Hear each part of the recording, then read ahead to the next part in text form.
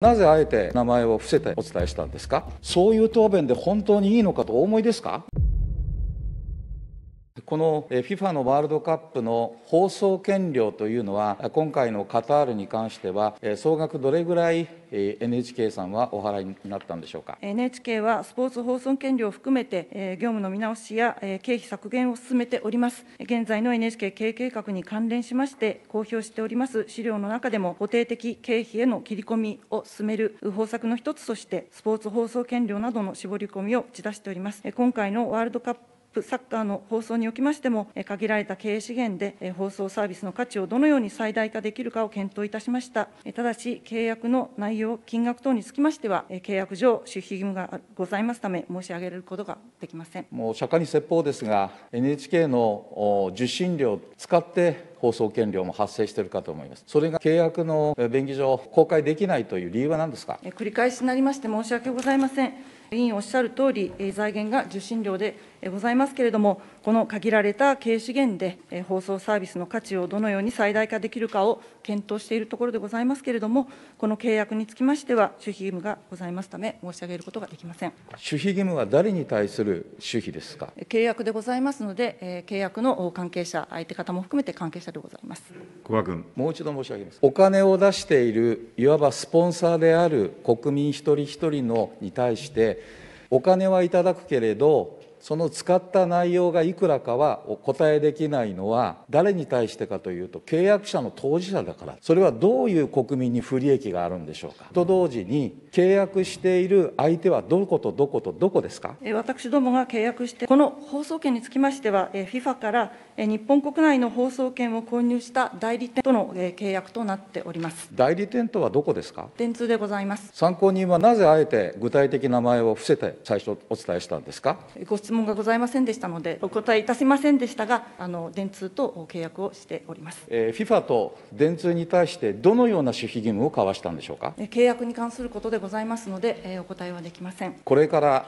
東京オリンピックは終わりましたが、カタールのワールドカップの後、さらなる巨大なイベントがあスポーツを中心にまた行われる機会がございます。その際もまたこういう事例が起こりうるということでよろしいですか？NHK はスポーツ放送に関しましても、公共メディアにふさわしい多様で良質な番組を視聴者の皆様にお届けすることに努めております。スポーツイベントの大型化に加えまして、資金力のあるネット配信業者などが権利の獲得に乗り出すことによりまして、放送権料は世界的に高騰する傾向にございます。NHK は視聴者の皆様の意向を十分に考慮しながら、放送するイベントの取捨選択を進めて、放送権料の削減に努めまして、同時により一層、視聴者の皆様の要望に沿ったコンテンツの確保にも取り組んでまいります。その視聴者たる受信料お支払いの国民の皆様方が納得するためにも、その放送権料というのは、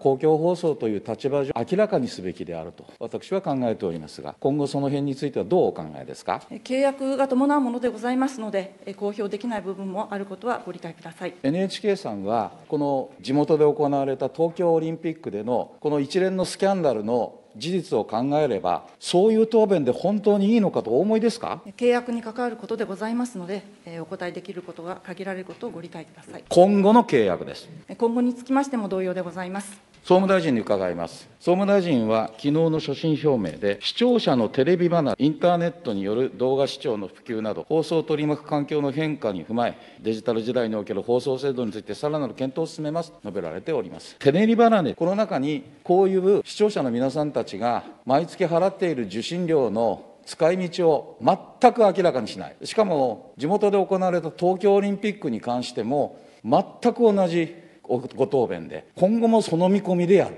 果たしてそれは視聴者や国民が納得することだと思いますか？日本放送協会さんにおかれては、もちろん受信料をいただいて放送するという意味で、最も適切な放送ができるように、おそらく外部とのさまざまな契約においても、一番視聴者の皆様にためになるべく、契約をされているものというふうに期待をしているところで、ございます。また、あの、経営の内容については適切に公開をしていただいて、また説明をいただいているものというふうに理解をしておりますので、引き続き視聴者受信料を支払いいただいている方にもご理解いただけるように、しっかりといい形を届けてもらうようにお願いをしたいというふうに思っております。もう一度 NHK の参考人に伺います。一連の東京オリンピックのさまざまなスキャンダルを受けて、今後もこの放送権料に関する契約に関しては、公開をしない方針なんですね。個別の契約につきましては、公表する考えはございません。受信料を徴収されておいて、それの使い道を、しかも巨額の放送権料と言われている中身を一切公開しないのは、